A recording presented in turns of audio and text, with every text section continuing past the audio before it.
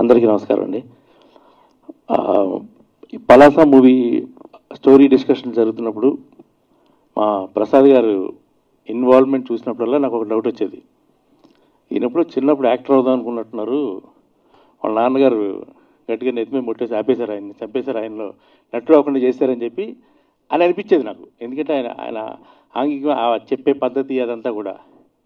At the same time ఆయనలో ఒక writer కూడా ఉన్నాడని కూడా తెలుసు. ఎందుకంటే చాలా కూలంకషంగా సబ్జెక్ట్ గురించి ఆయన డీటెయిల్స్లోకి వెళ్ళడం కానీ డౌట్స్ రైజ్ చేయడం కానీ జెన్యున్ క్వశ్చన్స్ వేయడం కానీ భలే ఉండేది ఆయన ఆయన యొక్క ఇన్వాల్వ్మెంట్ అనేది.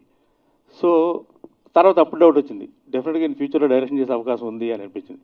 కానీ ఇంత తొందరగా ఎంత చాలా సాఫ్ట్ కొట్టారు ఆయన. ఆయన మాట్లాడేది పక్కలు కూడా వినిపించదు అనమాట అండి. ఈ మనిషిలో ఎంత వైలెన్స్ ఉందని ఇప్పుడు చూసిన తర్వాత అర్థమైంది నాకు. కానీ నిజంగా థ్రిల్ థ్రిల్స్ ఆయన పెట్టారు కానీ నిజంగా థ్రిల్ అయ్యా.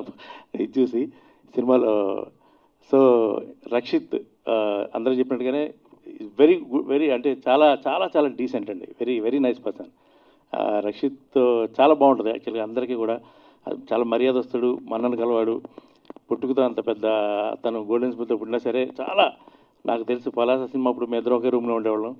నేను లేస్తుంటే పొద్దున్న చూస్తే చీపురు పెట్టి తుడుస్తున్నాడు రూమ్ అంతా. ఓ రోజు ఏంటి రక్షిత్ నువ్వేది ఊడుస్తావు అంటే కొనుక్కొచ్చాడు దాన్ని. సూపర్ మార్కెట్కి చీపురుని ఒక చేట కొనుక్కొచ్చి వాళ్ళు రాలేదండి అందుకే తుడిచేస్తున్నాను అన్నాడు అంత సింపుల్ సిటీ ఉంటుంది మనిషిలో తనలో ఇలాగే మీ నాన్నగారు మీరు బాలీవుడ్లో హృతిక్ రోషన్ రాకేష్ రోషన్ లా కాంబినేషన్లో అవ్వాలని నేను మనస్ఫూర్తి కోరుకుంటున్నాను sir.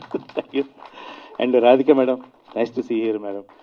చాలా పెద్ద ఫ్యాన్ మీకు నేను. Thank you so much and మా టీం అందరిని కూడా మనస్ఫూర్తిగా నేను అభినందిస్తున్నాను. ట్రైలర్ రిలీజ్లో మాట్లాడుకున్నాం wonderful sir thank you thank you so much Raghu Kunche garu.